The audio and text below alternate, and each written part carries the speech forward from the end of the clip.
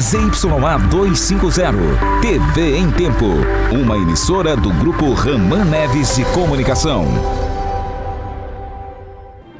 Desfile militar leva 10 mil pessoas ao Sambódromo de Manaus.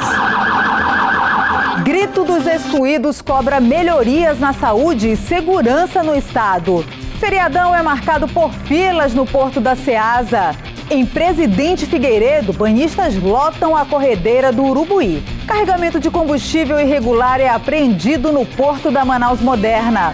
E ainda você vai conhecer a história de duas mesatenistas que vão em busca de títulos em campeonatos nacionais. O Jornal em Tempo desta quinta-feira começa agora.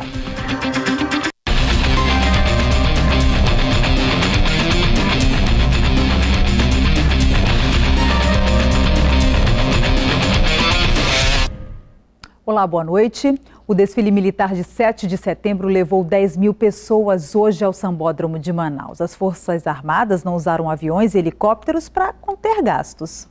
Nas arquibancadas do Sambódromo, 10 mil pessoas, segundo a PM. Gente que encarou um calor de 32 graus para assistir ao desfile. Vale muito a pena é, para ver o esforço deles, entendeu? Apesar de o nosso país viver um caos político, nós estamos aqui para prestigiar as Forças Armadas que nos orgulha. 5 mil militares participaram este ano. Foi o maior efetivo desde 2007. A população chegando por os desfiles fazia saudação aos nossos militares. O respeito à nossa bandeira, o civismo, sem dúvida alguma, é muito importante e fundamental. Só o Exército levou para o Sambódromo pouco mais de 2.500 militares. e meio ambiente.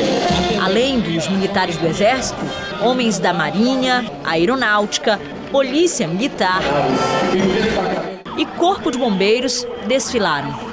Este ano, o número de carros e caminhões das Forças Armadas foi menor, para conter gastos. Nós vamos reservar essas horas de voo de helicóptero para uma operação militar. Então, por isso que tivemos um mínimo de de participação de viaturas e helicópteros, mas nós tivemos com um efetivo grande de tropas a pé de todas as unidades da guarnição federal aqui de Manaus. O desfile também não teve exposição de animais. Desde a morte da onça Juma durante a passagem da tocha olímpica por Manaus, que o Exército não traz animais nos carros. E a aeronáutica decidiu não fazer desfile aéreo. Infelizmente não tivemos um desfile aéreo em função do que nós, nos foi imposto por contingenciamento né, financeiro, mas é, também mantivemos as atividades é, simultâneas de controle do espaço aéreo. Militares que vieram da missão de paz no Haiti também participaram do desfile. As apresentações encerraram com o abafamento do fogo simbólico. O desfile de 7 de setembro durou pouco mais de duas horas. Em Parintins também teve desfile de 7 de setembro. Alunos das escolas públicas do município foram às ruas. O desfile do Dia da Pátria aqui em Parintins vai ser realizado aqui na Avenida Paraíba, onde também acontecem grandes eventos no município, como o Carnaília, por exemplo. Quatro escolas da rede estadual de ensino vão participar do desfile do dia de hoje, além da Polícia Militar, Guarda Municipal, Corpo de Bombeiros e também os reservistas vão desfilar no dia de hoje aqui na cidade de Parintins. E Haverá também, Mariana, a participação do Bombeiro Mirim, do programa Bombeiro Mirim e Pelotão Mirim. São dois programas, um desenvolvido pela unidade do Corpo de Bombeiros aqui em Parintins e outro pela Polícia Militar. Muita gente já está aqui aguardando o início do desfile que deve acontecer por volta das 18 horas e 30 minutos. Volto com você aí no estúdio, Mariana. E o Grito dos Excluídos foi realizado este ano na zona leste da capital. É um movimento organizado pela Arquidiocese de Manaus que cobra melhorias para problemas sociais. O repórter Bruno Fonseca acompanhou e traz os detalhes para gente. Pois é, essa já é a 23 edição do Grito dos Excluídos, que neste ano veio com o tema Vida em Primeiro Lugar, por Democracia, a luta é todo dia. O evento teve a concentração na Avenida Itaúba, no Jorge Teixeira, na zona leste de Manaus.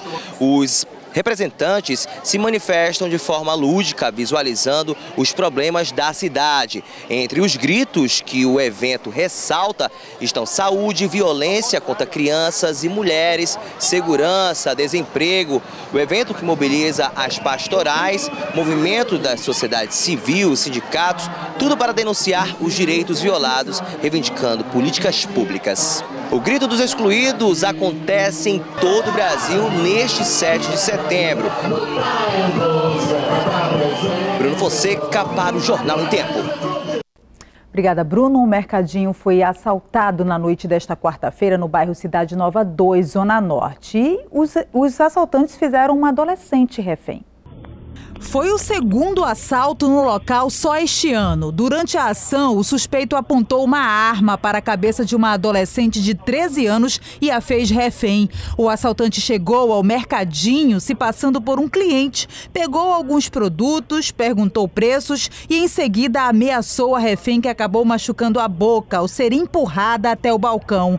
Ele pediu ao caixa a renda do dia, de aproximadamente 200 reais, e os dois celulares da loja. Um um segundo homem esperava do lado de fora. Eles fugiram em uma motocicleta sem placa. A polícia analisa as imagens das câmeras de segurança e já está em busca dos suspeitos.